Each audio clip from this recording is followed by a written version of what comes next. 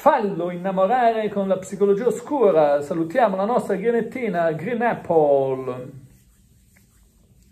la nostra mela verde, la nostra mela verde. Salutiamo Rosy, salutiamo Rosy. Allora, cerchiamo di capire un attimino qualcosa eh, prima sulla psicologia oscura, che cos'è la psicologia oscura, come funziona la psicologia oscura e come possiamo, diciamo, utilizzare, salutiamo anche Sissi, come possiamo utilizzare la psicologia oscura per eh, sedurre, come possiamo utilizzare la psicologia oscura per far innamorare. Ma su che canale sono? Non vedo su che, su che canale sono.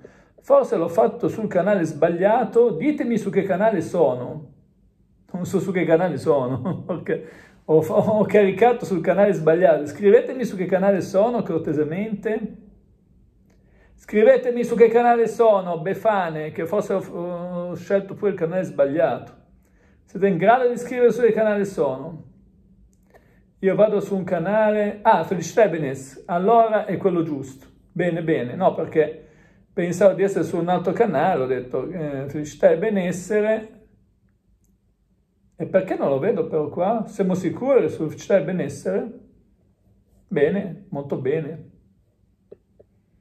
Però è molto strano che non lo vedo, vabbè. Comunque, comunque...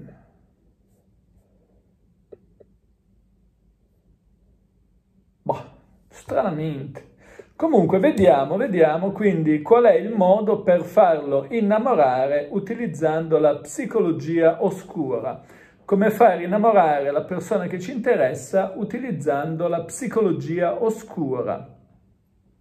Allora, no, non capisco perché di solito lo vedevo nel qua, invece lo vedevo nel qui ed ora, e invece adesso non lo vedo, ne un po'. Comunque sia, eh, non è un problema, esatto, farli innamorare con la psicologia oscura. Bene, allora cerchiamo di capire un attimino quindi come impostare il tutto. Eh, cerchiamo di capire un attimino che cos'è la psicologia oscura e come utilizzarla in modo etico, però come utilizzare la psicologia oscura in modo corretto per eh, farli innamorare, per conquistarlo, per sedurlo, perché questo è proprio poi il eh, punto fondamentale. Noi possiamo utilizzare la psicologia oscura, ma dobbiamo cercare di utilizzarla in modo etico, dobbiamo cercare di utilizzarla in modo corretto. Intanto la psicologia oscura è, eh, diciamo, è una psicologia manipolativa, come dice il termine fondamentalmente, ma ha degli aspetti negativi, ha degli aspetti positivi. Ovviamente le tecniche di psicologia oscura negative sono quelle che vengono sviluppate, diciamo, da personaggi negativi, quali ad esempio i sociopatici, quali ad esempio i narcisisti, ma eh, spesso i principi di psicologia oscura vengono utilizzati anche dai politici fondamentalmente, anche da persone manipolative in generale. Noi dobbiamo eh, tenere presente che eh, invece il termine più etico, diciamo, di psicologia oscura è quella che cerca di utilizzare la parte oscura della nostra mente, la parte nascosta, quindi è quella parte della psicologia che cerca di utilizzare l'inconscio e agire sull'inconscio delle persone piuttosto che sulla parte logico-razionale. Agisce sull'inconscio, ma agisce su alcuni aspetti dell'inconscio. Sappiamo che l'inconscio da un punto di vista freudiano è formato da tutta una serie di cose. Da un punto di vista logico-razionale l'inconscio invece è formato da, da altre cose, eh, anche ad esempio dalla creatività. Eh, quindi come diceva eh, ad esempio e affermava anche fondamentalmente eh, il, il, grande, il grande eh, come affermava il grande eh, Milton Erickson, il nostro inconscio ha anche un aspetto creativo e noi possiamo utilizzare, diciamo, il nostro inconscio, noi possiamo utilizzare il nostro inconscio per sviluppare anche la creatività, sviluppare anche l'innamoramento. Questo è un eh, punto molto importante, questo è un punto fondamentale e, e quindi l'inconscio non è soltanto quella parte negativa. Eh, ovviamente la psicologia oscura eh, per certi versi si sovrappone ad esempio alla manipolazione, alla persuasione, quindi la persuasione consiste nel modificare l'atteggiamento o eh, il comportamento delle persone attraverso eh, diciamo la sfera logica, no? La sfera logica utilizza la persuasione, utilizza il cercare di convincere qualcuno, il cercare di coinvolgere qualcuno utilizzando proprio alcuni aspetti, eh, alcuni aspetti logico-razionali, mentre, eh, mentre invece ci sono altre parti, ci sono altre situazioni che eh, non utilizzano la sfera logica, come ad esempio la manipolazione, ma utilizzano eh, la manipolazione può essere sia logico che analogico. Quindi esistono queste tre parti. Non esiste la seduzione che è formata dal, dall'interagire solamente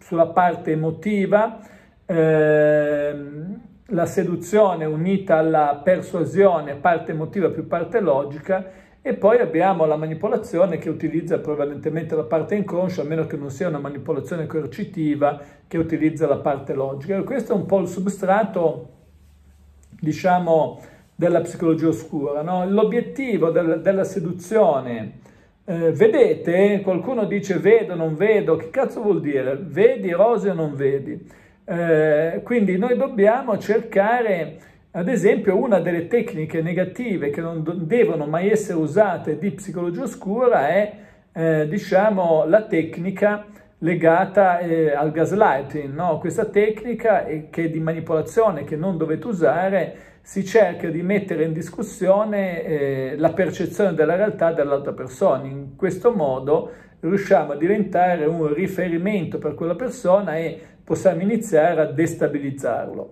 Invece ci sono delle altre cose di psicologia oscura, perché oscura perché sono legate all'inconscio, che noi possiamo utilizzare, sono anche molto più efficaci perché la manipolazione poi alla fine ti può indurre, può indurre qualcuno magari a fare qualcosa, ma non sarà mai veramente sedotto, non sarà mai veramente sedotta, non sarà mai veramente innamorato. Invece è molto importante utilizzare il linguaggio del corpo, il linguaggio non verbale. Il linguaggio non verbale è una di quelle parti oscure, nel senso che oscura è alla logica, ma che è molto utile per sedurre, per conquistare, per far innamorare. No? Nel linguaggio del corpo eh, ci sono dei segnali consci e inconsci che noi possiamo emettere, eh, quindi che riguardano gli ambiti della gestualità, della mimica, della postura, del movimento, del paraverbale.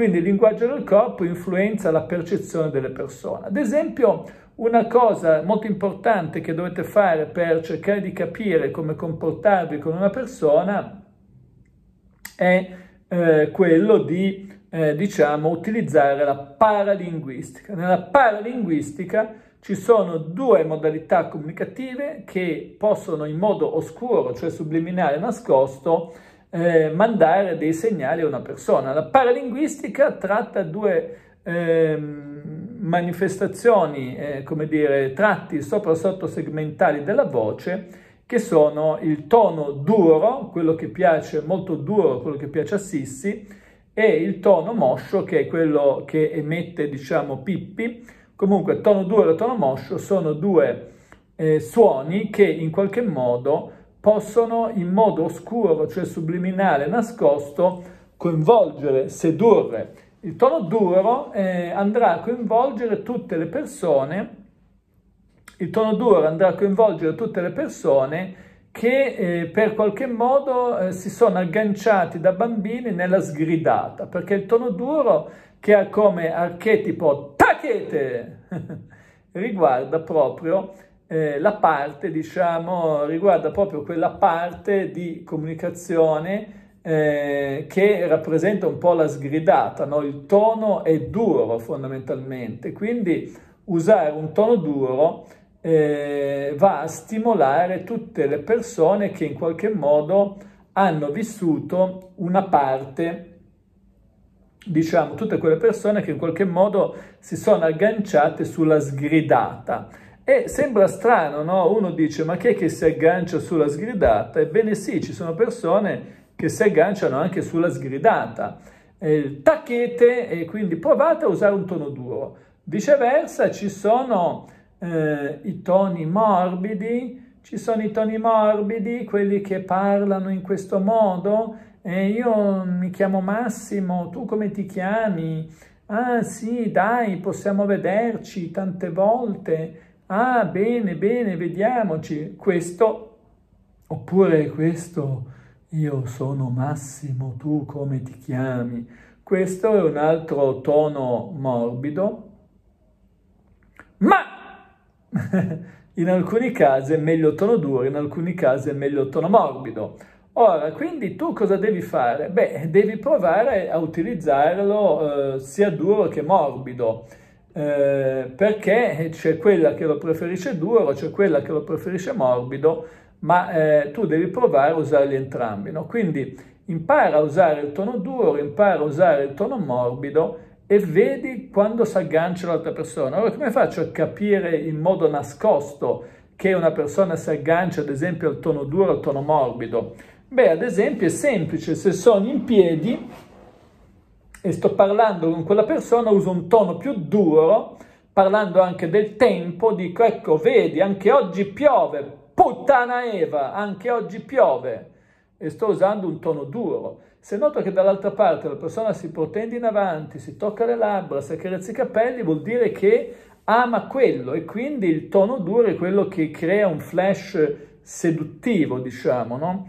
Eh, ovviamente c'è qualcuno, perché non devi chiederglielo da un punto di vista logico, non è che da un punto di vista logico devi chiedergli lo preferisci duro o lo preferisci morbido, perché eh, diciamo da un punto di vista logico magari ti dà una risposta che non è detto che coincida con eh, la risposta, con la cosa reale fondamentalmente, quindi è molto importante utilizzare eh, i due toni, sia quello duro sia quello morbido, utilizzati contemporaneamente. No? Quindi questo è un punto, è un punto fondamentale perché poi eh, quindi provi, no? quindi hai capito per quella specifica persona che tono devi usare. Quindi quando vuoi creare aggancio usa quel tipo di tono, quando vuoi creare sgancio, perché talvolta è anche importante utilizzare lo sgancio utilizza un tono diverso.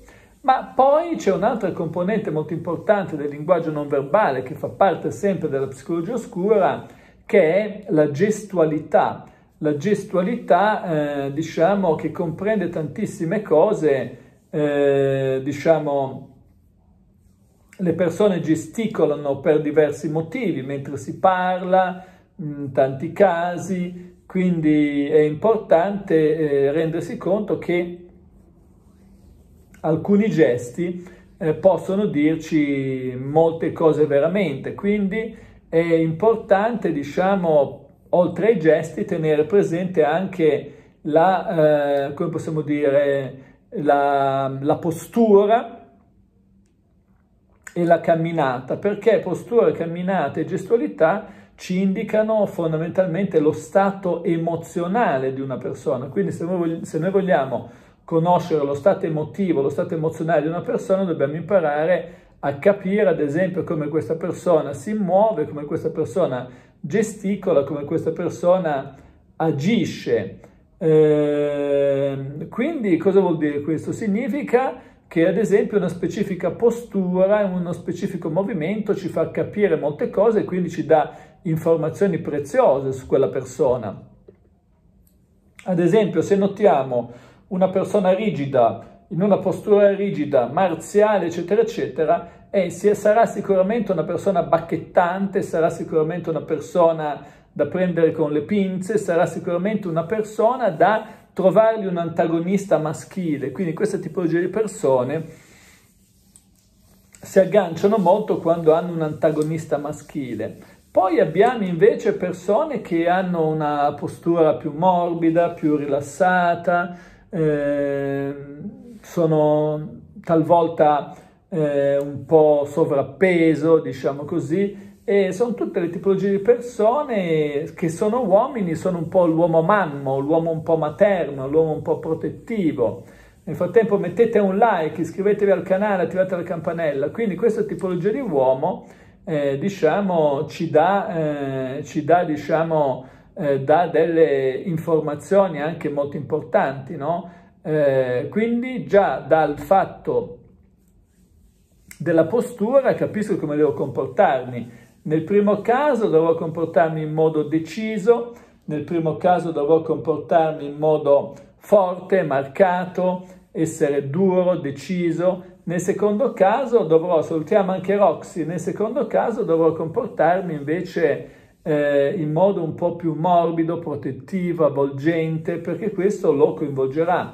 Quindi ci sono queste diverse forme di comunicazione che in qualche modo eh, servono, servono tantissimo per capire cosa fare, capire come comportarsi. Anche la stretta di mano ci può dare delle informazioni sul tipo di persona che abbiamo davanti. Ci sono persone, ad esempio, che stringono la mano come se fosse una tenaglia in questo modo e le persone che stringono la mano a tenaglia in questo modo sono tipicamente persone egocentriche e quindi l'egocentrismo si manifesta proprio da questo punto di vista, quindi, eh, ma e quindi noi possiamo cogliere ad esempio anche qua delle informazioni importanti sul tipo di persona che abbiamo davanti.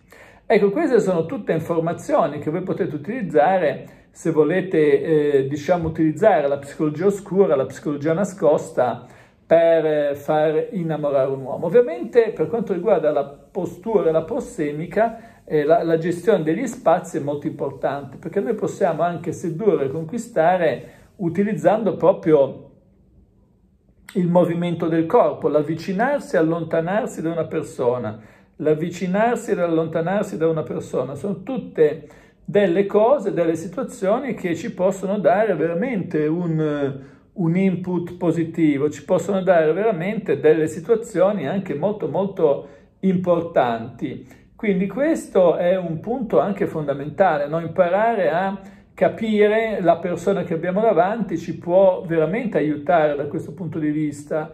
Eh, ma noi attraverso la psicologia oscura possiamo anche riconoscere, ad esempio, attraverso il non verbale, se una persona mente oppure no. Ad esempio, quando una persona parla e tende in qualche modo a coprirsi la bocca, ad esempio a parlare gesticolando in questo modo, più o meno nascondendo la bocca, è molto probabile che questa persona stia mentendo. Quindi è veramente fondamentale imparare a usare le tecniche di psicologia oscura perché attraverso le strategie, attraverso le tecniche di psicologia oscura noi possiamo scoprire veramente molto su una persona, possiamo scoprire veramente molto su quello che una persona fa e, e su quello che può far veramente innamorare qualcuno. Quindi sono tecniche di psicologia oscura, ma tutto sommato utilizzate in questo modo sono tecniche benevole, no? perché altre tecniche di psicologia oscura invece sono malevole e riguardano proprio la manipolazione. Noi non dobbiamo mai manipolare nessuno, eh, noi non dobbiamo, non dobbiamo mai manipolare nessuno perché se arriviamo a manipolare qualcuno, poi questa manipolazione tenderà a ritorcersi contro. No? Poi ci sono tutta un'altra serie di strategie, sempre definite psicologia oscura, ma in realtà è, si chiama in questo modo perché diciamo, agisce più sulla parte nascosta, è un, tutta una serie di strategie che riguardano la PNL, la programmazione neurolinguistica, no? che tra l'altro io sto facendo un seminario sul canale Massimo Tramasco, quindi poi chi volesse approfondire eh, molto diciamo, le strategie di PNL può eh, abbonarsi ovviamente al canale Massimo Tramasco, quindi la PNL ci permette di eh, entrare più in sintonia con una persona, ci permette ad esempio di capire dei dati importanti della persona, quali sono le sue caratteristiche, quali sono ehm, diciamo i suoi valori, sue, che tipo di fisiologia ha, che tipo di credenze ha, Conoscere questi dati è veramente molto importante perché ci permette, eh, utilizzando ad esempio una tecnica fondamentale che è la tecnica degli ancoraggi emozionali, ci permette di creare emozioni positive, di eliminare le credenze negative, di creare nuove credenze utili a questa persona, ma utili anche al nostro rapporto, salutiamo anche Giovanna con questa persona, e poi ad esempio noi possiamo, utilizzandolo su di noi, eh, eliminare comportamenti depotenzianti, come ad esempio delle paure, no? Perché spesso abbiamo paura di conquistare qualcuno, ma questa paura è dovuta proprio ai nostri limiti fondamentalmente, no? i limiti che noi abbiamo eh, di comunicazione, alle paure che noi abbiamo, perché le limitazioni, diciamo, nascono proprio dalle paure. Invece, se abbiamo sicurezza in noi stessi, non è che dobbiamo fare molto, noi praticamente riusciamo, eh, noi riusciamo a ottenere veramente dei grandi risultati da questo punto di vista e riusciamo, riusciremo anche a far innamorare in modo molto veloce, in modo molto rapido.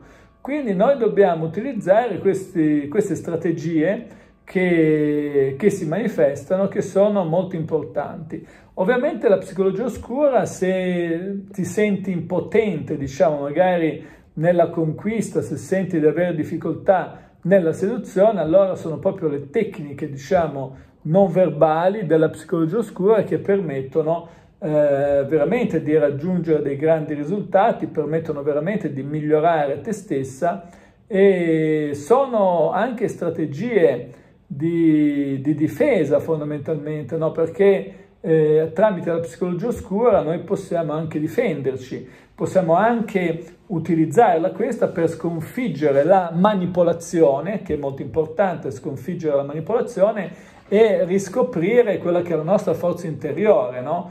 perché eh, noi dobbiamo anche imparare a proteggerci proprio da chi utilizza tecniche di manipolazione mentale, dobbiamo imparare a proteggerci da chi utilizza strategie di manipolazione mentale e quindi eh, diciamo che la psicologia oscura ha anche una valenza positiva da questo punto di vista perché non soltanto ci dà degli strumenti per sedurre, degli strumenti per coinvolgere ad esempio a livello non verbale, ma ci permette anche di evitare di cadere nella trappola, diciamo, talvolta nefasta di eh, persone che utilizzano la manipolazione. Noi non dobbiamo manipolare, ma non dobbiamo neanche essere manipolati fondamentalmente, no? Eh, quindi la psicologia oscura non ha solo dei tratti negativi, ha anche dei tratti positivi, noi dobbiamo usare i tratti positivi ma dobbiamo anche imparare a difenderci da chi utilizza questi tratti negativi che possono in qualche modo danneggiarci, soprattutto dalle persone manipolative, perché la manipolazione, ad esempio, è il processo attraverso il quale perdiamo il nostro potere decisionale e il nostro potere di, di conquista fondamentalmente. No, invece noi dobbiamo essere sempre attivi da questo punto di vista, Dobbiamo evitare, ad esempio, riconoscere chi ci fa gaslighting, perché il gaslighting è una strategia di manipolazione oscura ma negativa e quindi abbiamo tutte le cose per venire fuori. Fate attenzione anche alle persone, questo voi non dovete utilizzarlo, che utilizzano l'isolamento sociale, cioè cercano di eh, tagliare i vostri rapporti con altre persone, con i vostri parenti, con i vostri amici, con persone che frequentate, per avere il completo controllo della situazione. Quindi noi dobbiamo imparare a usare anche la psicologia oscura, ma soprattutto imparare a difenderci da situazioni negative e nefaste che ci possono portare veramente a delle situazioni di crisi. Ad esempio, quando interagisci con una persona nuova è molto importante costruire, eh, molto importante costruire mh, delle proprie barriere, diciamo, creare dei confini sani perché avere dei confini solidi aiuta a proteggerci da coloro che potrebbero cercare di manipolarci, consentendo di eh, diciamo, farci fare delle cose che non facciamo. No? Quindi eh, sono tutte situazioni interessanti, tenendo presente che la parte negativa della psicologia oscura è quella legata al machiavellismo, è quella legata all'egocentrismo, è quella legata a tutte queste situazioni che invece noi dobbiamo mh, superare perché eh, per avere una seduzione più profonda possiamo usare le tecniche che ho detto, ma soprattutto diciamo dimostrare un forte interesse per se stessi. Questo è il modo migliore per vivere al meglio anche un po' le strategie di eh, psicologia oscura, evitando di cadere ad esempio in trappole come quella del machiavellismo. E queste sono un po' le cose che bisognerebbe imparare a fare. Ovviamente è importante riconoscere la manipolazione che delle persone possono mettere in atto, anche perché poi se vogliamo mettere in atto noi dobbiamo capire che cos'è la manipolazione. La manipolazione è un discorso complesso, dobbiamo riconoscere le sue forme diverse, il, il denominatore comune, diciamo, delle forme di manipolazione è alterare la percezione del mondo affinché questa persona abbia una percezione del mondo simile alla nostra e eh, e poi le persone che vogliono mettersi one up, cioè in posizione di superiorità nei nostri confronti, dobbiamo per prima cosa mandarle a fare in culo in seduta stante. Quindi questo è uno dei segnali più evidenti di manipolazione, no? quando interagisci con persone che si mettono nella posizione one up, cioè superiore, io sono meglio di te, tu non capisci niente, tu qui, tu lì, e quindi imparare invece a riconoscere queste eh, strategie di manipolazione è fondamentale per non caderci, no?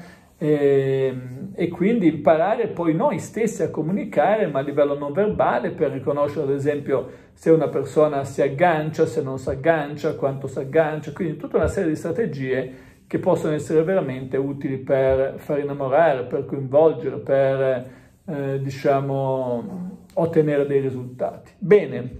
Mettete un like, iscrivetevi al canale, attivate la campanella così riceverete la notifica dei nuovi video. Seguitemi